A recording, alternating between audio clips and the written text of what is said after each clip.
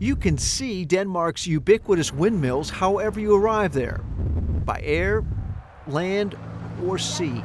Today we have 30% of all our electricity stemming from renewables, primarily wind and biomass. On the streets of Copenhagen, the Danes' commitment to living and working more sustainably has become part of their national culture. As, in, as most other Copenhageners, I use my bicycle uh, every day to go back and forth to the town hall.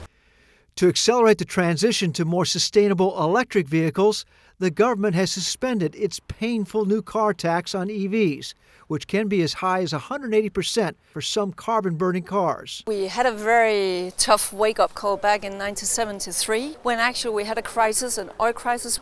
At that time, we were 99% dependent on imported fossil fuels. So it turned so bad that people were prohibited to drive their private cars on Sundays. Now, as Denmark's Minister of Climate and Energy, Connie Hedegaard will be chairing the COP15 climate change debates. She's hoping Denmark's success in reducing its carbon emissions will translate to the rest of the world. We have had a growth rate of almost 80% in our economy since 1980 in Denmark. At the same time, we have managed to keep our energy consumption almost stable. While the rest of the world comes to COP15 to learn how to reduce its carbon footprint, the people of this small Danish island called Samso already have. In the past 10 years, they've gone to 100% renewable energy and have reduced their carbon footprint by 147%. We want people to continue to consume energy, but they should be aware where the energy comes from. For the past 10 years, Soren Hermansen has turned his agricultural community on Samso Island into an energy experiment for the rest of the country. It is now the talk of the sustainability world. Well, the real convincing aspect was that you could actually save money. The climate or the environmental impact was just kind of a positive side effect of it.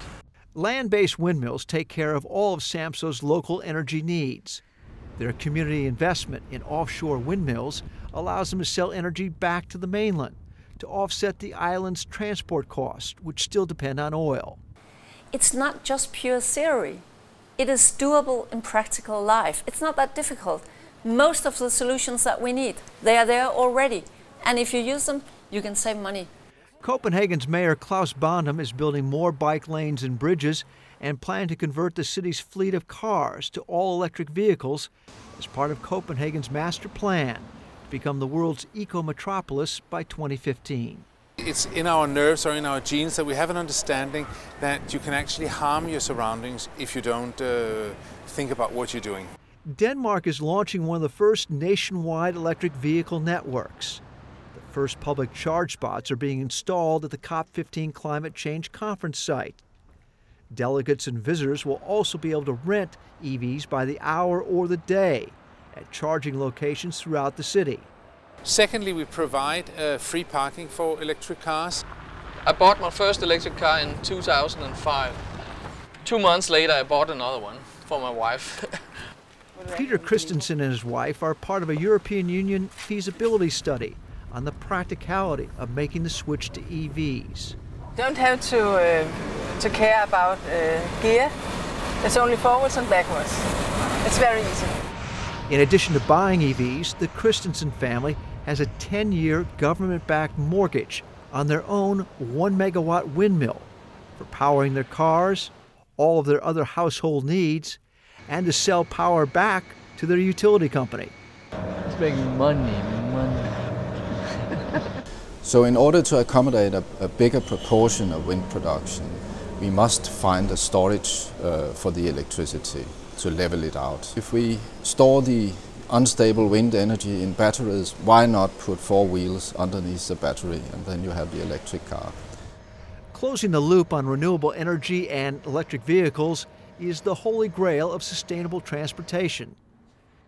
Dong Energy, the country's largest energy company, is partnering with Better Place, a global electric vehicle services provider, on a nationwide electric vehicle network of charge spots and battery switching stations to further reduce Denmark's auto and small truck emissions, the fastest growing source of carbon in the atmosphere. In Denmark, we have a population that's very focused on the environment. We have a lot of wind and therefore the ability to generate renewable energy.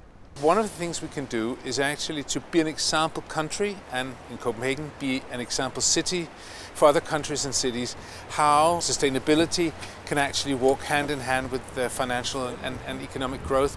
In Copenhagen, this is Mike Cerre reporting for Globe TV.